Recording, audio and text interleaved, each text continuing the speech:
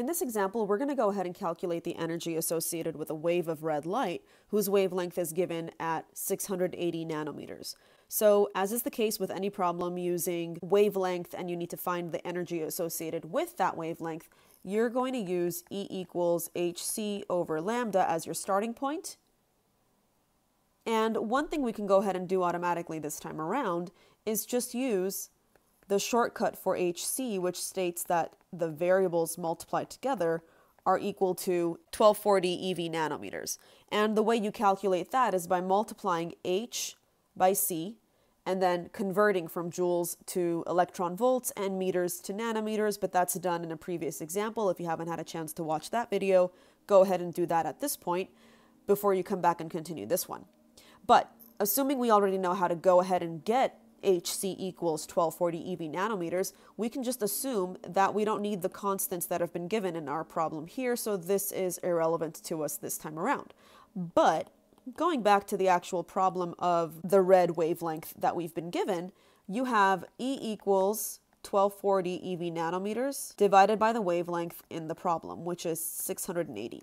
The nanometers up top cancel with the nanometers down at the bottom, and now we have 1240 divided by 680, and the units that we're going to be getting are electron volts, which is exactly what you want, since that's a unit that's associated with energy. So when you divide 1240 by 680, you get 1.82352 blah, blah, blah, blah, blah electron volts. So generally, when we're dealing with an example like this one and we have a really, really long decimal answer, we need to round off to the proper amount of significant figures. And in order to do that, we'll take a look at the number in the original problem, which in this case has two significant figures, the 6 and the 8. So when we come back to our answer down here, we'll have to cut off after the second digit since both the first and the second numbers in this answer are significant since they're non-zero, so they count.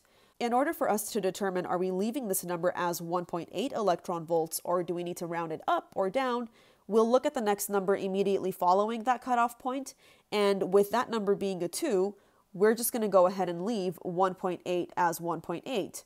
So you can round it off and get your final answer as 1.8 electron volts.